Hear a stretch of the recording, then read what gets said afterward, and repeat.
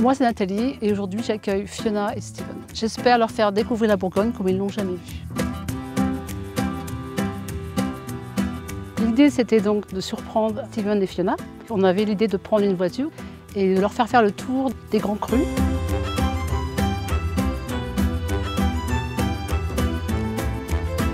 Mon mari James et moi avons une passion pour le vin, donc on a voulu transmettre cette passion à nos hôtes pour leur montrer en fait ce qu'on avait en Bourgogne, donc les grands crus.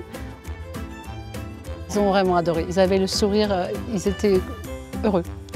Quand on a fini la dégustation, on a voulu poursuivre donc la, visite euh, des, vignes de Bourgogne pour arriver à la montagne Saint-Christophe.